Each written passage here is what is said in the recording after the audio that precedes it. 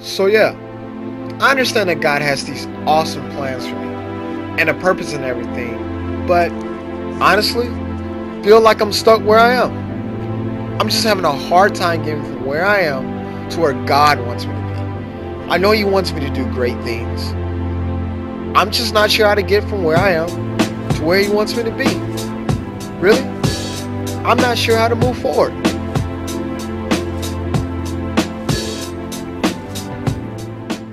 This word that God's laid on my heart, we're starting a new series today called Moving Forward. And I'll talk a little bit more about it, but it's just something that God is burning in my heart. I truly believe as a church and as individuals, God is looking to move us forward from where we are to the next step, to the new season that He has in our life. I just sense that as a church, that we're just at that place where God is saying, okay, you're no longer where you are, but it's time to take another step. It's time to make progress. So I'm going to teach. I heard someone tell me recently that when I yell, I'm preaching, and when I'm calm, I'm teaching. So I'm going to preach and teach just a little bit. And you know how we do. I'm going to need for you guys to work with me as much as I'm working with you. Amen. Now, here's the thing about moving forward. A lot of people, you know, there's, there's that horrible word, word in the church world called backsliding. Anybody ever, ever heard that word before? Backsliding, every, time you do something you're not supposed to do, you backslide. you, you got to say it like that too. You can't just say, you're backslider. And, whenever we, we, we, think of the term backsliding or backslider, we think of someone who was following Christ and has stopped following Christ and they just back wilding out and losing their mind. And, and we're looking at them and pointing and all this type of stuff. But this is one thing that I've discovered about life and I've discovered about our spiritual walk. There's no such thing as standing still. You're either making progress or you're sliding backwards. The Bible says you go from glory to glory to glory. And a lot of times we become complacent or we become satisfied because we feel that we've reached a certain place in our lives or, or we've reached a certain place of comfort or stability or, or whatever it is that we have set up for ourselves. So we begin to take the brakes off. We begin to relax. We begin to ease up a little bit, not knowing that God has more for us, that there's something else that He's called us to do, that there's so much more that He desires to reveal to us. So, over these next four weeks, this series is really going to be a boot in your pants saying, hey, don't back up, don't slow down, don't calm down.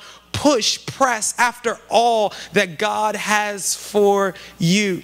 I remember when I, graduated uh, way, way back when uh, from the University of Maryland, College Park, greatest school in the universe. I, that was weak. But uh, I walked across the stage. I, I, grabbed what I thought was my diploma. It was really a picture of the campus, and they said, when you pay your parking tickets, then you'll get your diploma. but I got my diploma. I walked across and I went to my dad, and I said, Dad, I'm ready to retire. I'm done. I, have done. I've put my work in. I did my four years. I'm ready to go move into a nursing home and just sit back and relax. I've accomplished all that I'm looking to accomplish. He said, Boy, get out of my face. You better go get a job. What's wrong with you? You know, a lot of times when we reach these markers in our lives that we've been pushing for, that we've been pressing for, we're excited and you should celebrate about that. But the only thing is, you should know that that's not where Christ has called me to stay. That's not where I'm supposed to set up shop. That's not where I'm supposed to build a tent and, and have a little time to myself. Keep pushing, keep pressing into all that God has for you. Somebody say, Amen. How many people would be honest enough in the house of God to admit that you have some type of case of road rage? this ain't that type of church. Put your hand down. Don't be admitting the truth. We don't do that around here. Pretend like we got it all together. I know, because some of y'all cut me off. I'll be honest with you. I, I when I'm driving, I, I don't get too upset. I don't use my horn too much. I'm not one of those people that's just wired and just yelling and flashing lights. Matter of fact, when people flash lights behind me, I'm the dude who steps on my brakes and says, "Oh, you want to go around me? Feel free to go around me." And then come to the side and I speed up a little bit more. But that's serious. That's not good. Hey, I'm still alive. But you know, I, am I'm, I'm pretty calm when it comes to the road. I, I'm, I'm not too much a rush, not too much wound up or uptight. But there's one time that I just absolutely lose it.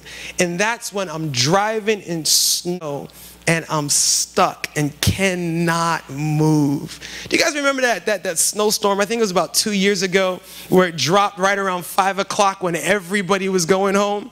It took about 15 minutes from where I was to get home. It took me four hours to get home. Everywhere I turn, there's another car stuck. My car is spinning out, and I'm telling you, I'm a grown man and I do not cry. But after about two hours, it's like, I can't take it anymore. I mean, I was just losing it. There is something about being stuck. Some of y'all looking at me like he didn't really do that. You'd have done the same thing. There is something about being stuck, trying everything that you can, calling every number in your phone, turning down every street you can, but yet you can't seem to break out of that situation. You can't seem to break out of that circumstance. You can't seem to make any progress at all. And here's the thing about it a lot of times people are stuck so long that they begin to make excuses for why they're not making any progress. They begin to settle, they begin to say, you know, this is just a thorn in my flesh. This is just the cross that God has called me to bear. This is just a season that God has me in where He's building my character. And as soon as He's decided that my season is over, then He's going to release me. Do you know that God does have seasons, but a lot of times the reason that we're stuck has nothing to do with the fact that we're in a God season. It has to do with the fact that we're missing what God is trying to show us, what we need to do to release ourselves from where we are.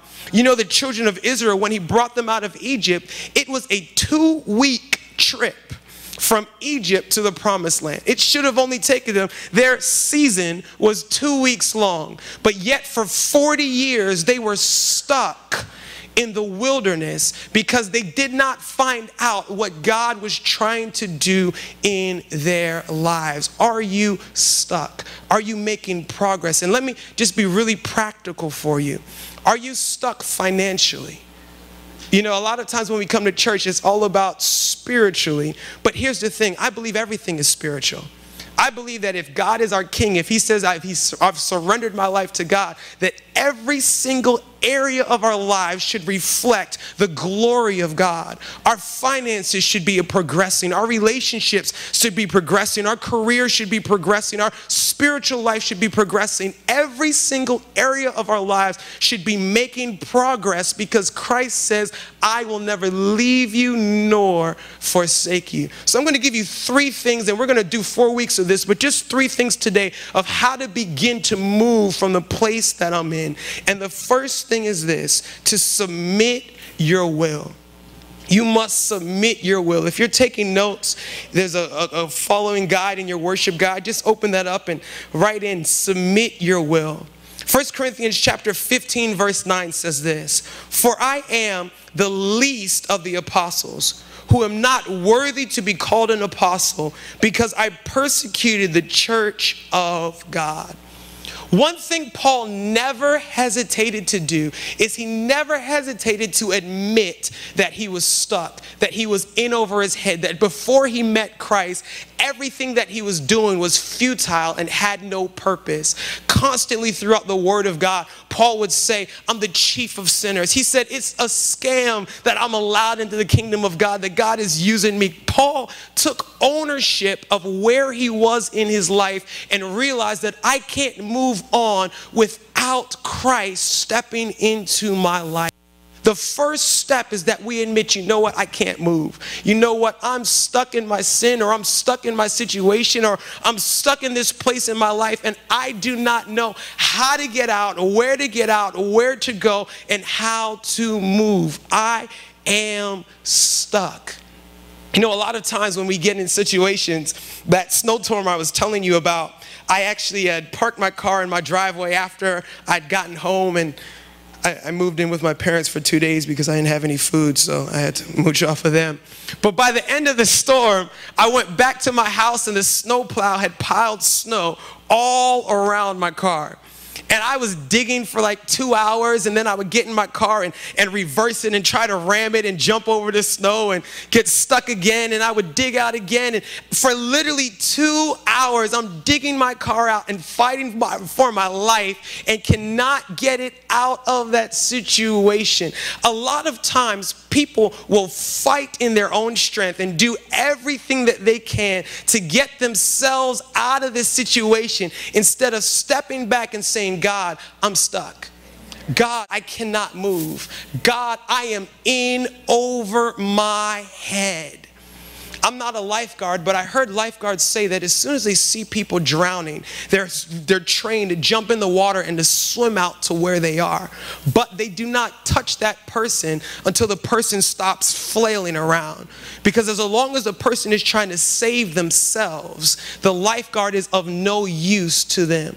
When we submit ourselves to God, when we submit our lives to God, we say, God, I can't move further. I can't get out of this situation. I can't fix this jam that I'm in. I need you to set me free. I need you to come into my life. I need you to bring progress in this area that I've toiled at, that I've pushed at, that I've done everything that I can do. God, I am stuck. Paul constantly said, he said, you don't realize I was the chief of sinners. I was, I was, I was not worthy of anything that God had for me. And because of that, God was able to step in and to pick him up from the situation that he was in. Turn with me really quickly. I want to show you something. Turn to 1 Corinthians, 2 Corinthians chapter 7. I'm sorry, 1 Corinthians chapter 7, verse 10. 1 Corinthians chapter 7, verse 10. And it says this. Your page is still turning. Should be on the screen. It says this For godly sorrow produces repentance, leading to salvation.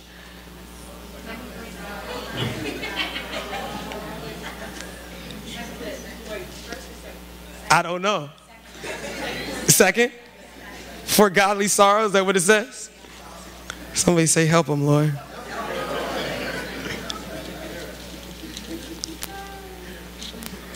Is someone out there laughing at me? Second Corinthians chapter 7, verse 10. You got it? Do I have it? For godly sorrow, there we go, produces repentance leading to salvation, not to be regretted, but the sorrow of the world produces death. For observing this very thing that you sorrowed in a godly manner, what diligence it produced in you, what clearing of yourselves, what indignation, what fear, what vehement desire, what zeal and vindication. In all things you proved yourselves to be clear in this matter.